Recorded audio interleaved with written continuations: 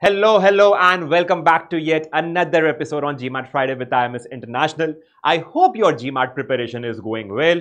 You know the drill. Here's the question for you. Pause the video, give it a shot, and then resume to look at the solution.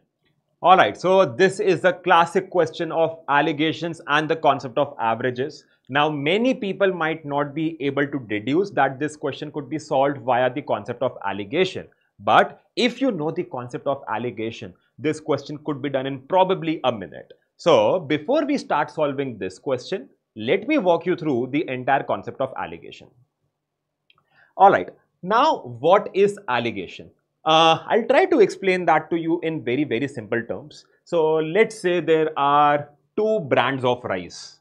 There is brand A and there is brand B. Brand A is costing 60 rupees per kg and brand B is costing let's say 90 rupees per kg.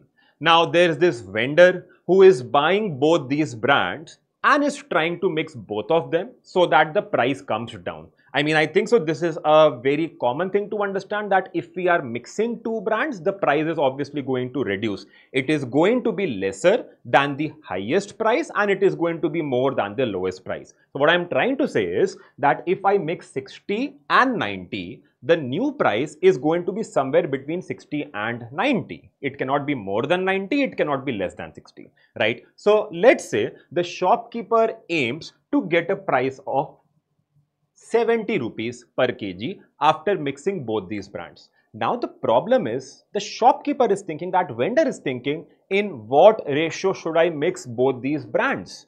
Should I take 1 kg of brand A and let's say 10 kgs of brand B? That uh, doubt is always going to be there in his mind. So that is where the concept of alligation would be helpful to the vendor.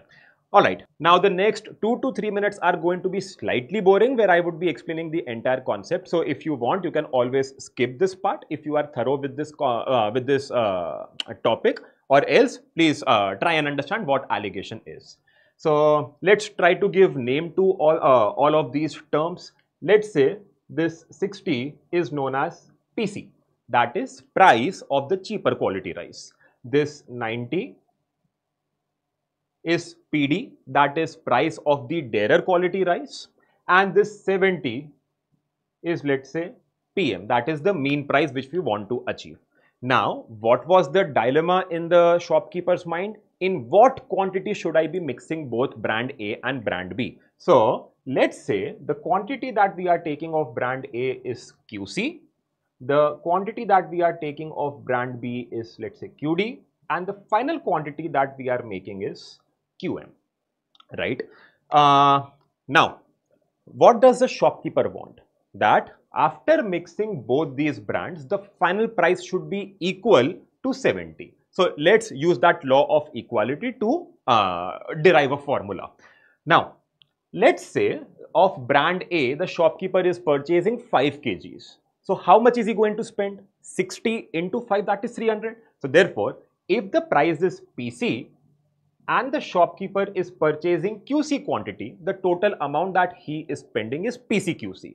And similarly, in case of the Darer rice, he is uh, he is spending PD times QD. So that is the total money he is spending and this must be equal to what? This must be equal to PM times QM. Now one good thing is that since he is mixing brand A and brand B, QM is going to be nothing but QC plus QD. I mean, how uh, whatever is the uh, number of kgs of brand A and whatever is the number of kgs of brand B that he is taking, that is what is being mixed, right? So QM is going to be nothing but QC plus QD. So let me write that.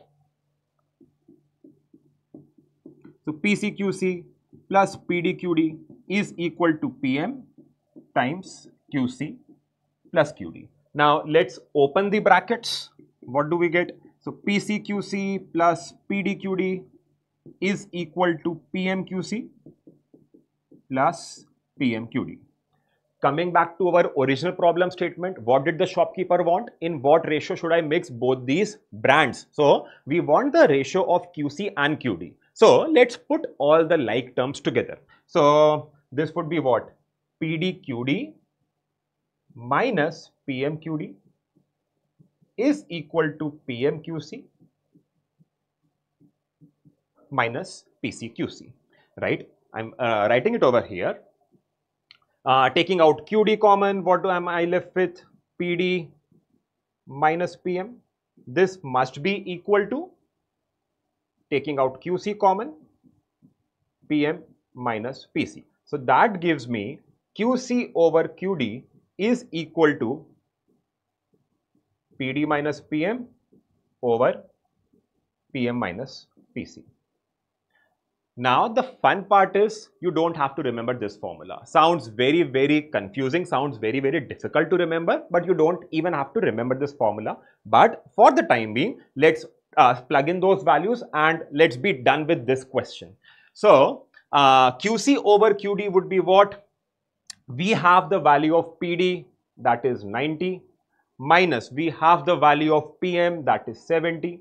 We have the value of PM that is 70 and we have the value of PC that is equal to 60. So this becomes 20 over 10 and which on simplification gives me 2 is to 1.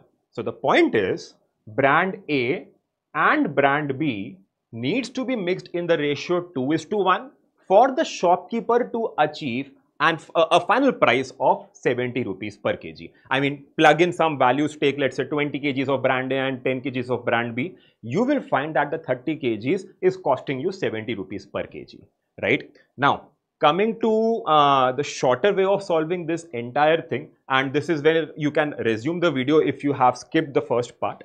Uh, there's an easier way of doing this, but that easier way was derived from this formula only. So, let's understand that.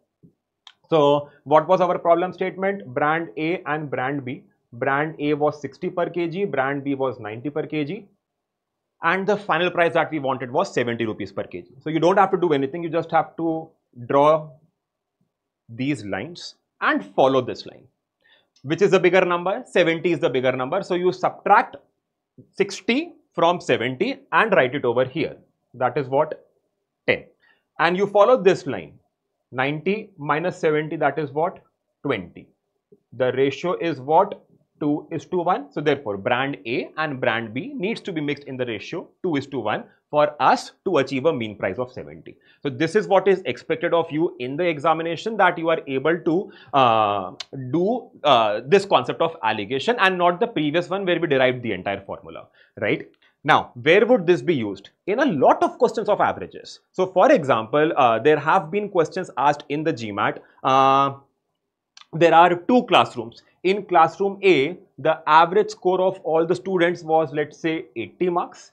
And in classroom 2, the average score of all the students was 93 marks. And overall, if I combine both the classrooms A and classroom B, the average score of all the combined students were uh, was 85 marks. Now, what was the ratio of the number of students in classroom A and classroom B? Now, if we go for the classical approach, it's going to take a lot of time. But if we knew this concept, what are we supposed to do? This is going to be 5, this is going to be 8. So, classroom A and classroom B, they have their students in the ratio 8 is to 5. So, maybe in 20 to 30 seconds, you are able to solve this particular question. In fact, this can also be asked in concepts of uh, profit and loss. So, for example, there is a shopkeeper who has a lot of goods.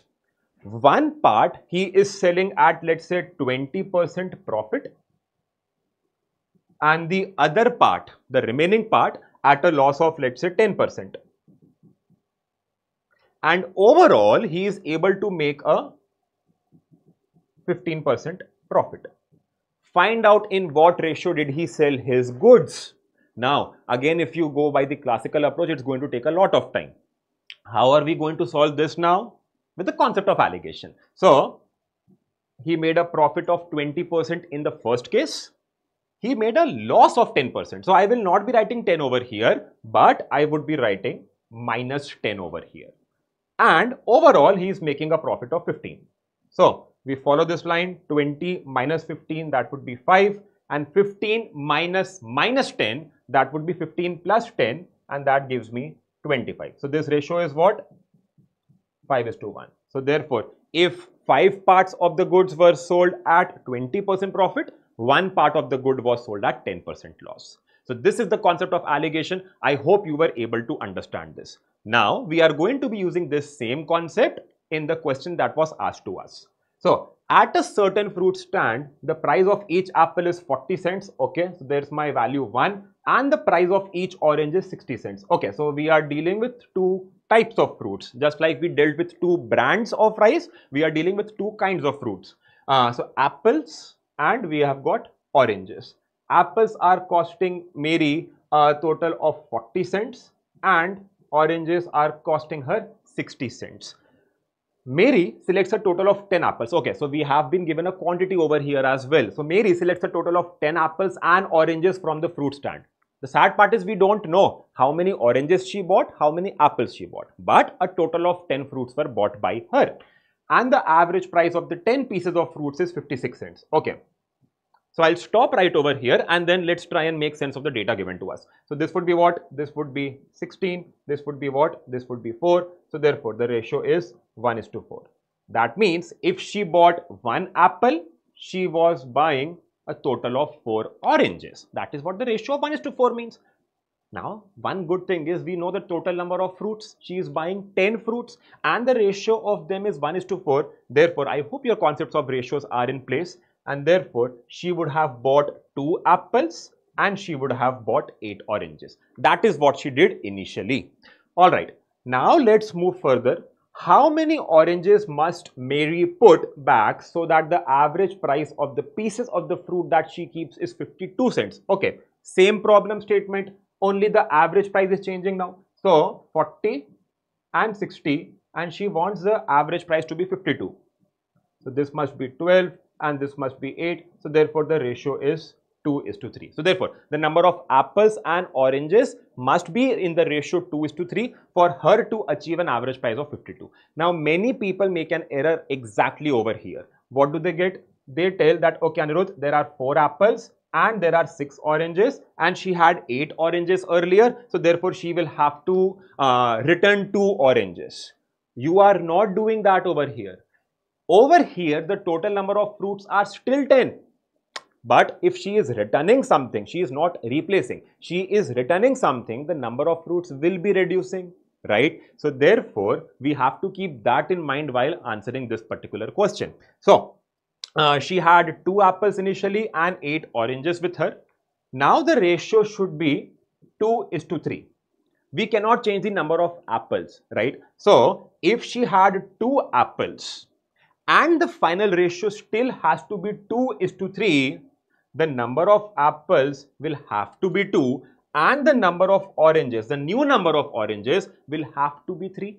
That is when the ratio of 2 is to 3 will, uh, would be achieved without affecting the number of apples she purchased because she is only returning back the oranges. She is not returning back any apple. So there were two apples, there has to be two apples till the end.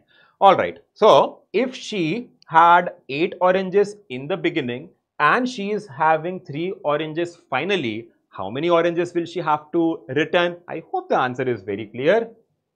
That is 5 oranges. So therefore, option E would be answer to this particular question. I hope you were able to solve this question and were able to understand this entire concept. If you like this content, please make sure to like the video and subscribe to our channel. Thank you.